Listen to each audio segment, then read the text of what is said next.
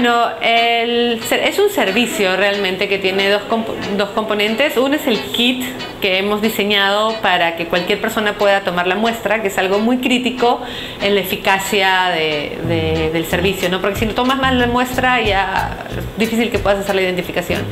Y el segundo componente es el servicio en sí, que tiene dos modalidades. Uno es la identificación de las especies por homología, comparando secuencias de ADN con bases de datos. Y el otro es eh, la identificación de especie por una técnica que se llama PCR, que es mucho más rápida, más económica, que te permite saber si una especie es lo que te dicen que es.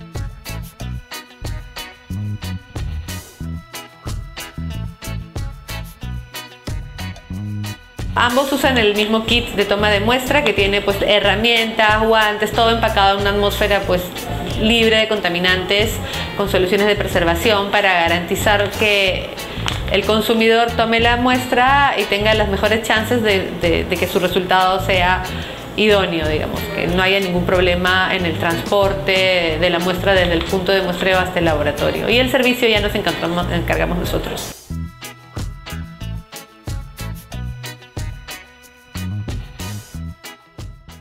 Gobierno del Perú. El Perú primero.